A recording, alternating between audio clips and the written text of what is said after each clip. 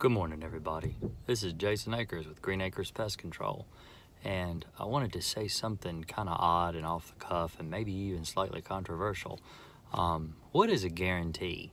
What do you get with a service guarantee? What are you getting with a warranty? Uh, pretty much what people are saying when they go shopping for a guarantee is they're pretty much explaining to you as a salesman uh, or a company or whatever that I know this service is going to be subpar. When the service fails, I want you to come out and do the same thing again. It's like buying a tool that is crappy because you know it's crappy and you're going to have to replace it in maybe a year, maybe six months, maybe three months. So, what do you get with a guarantee?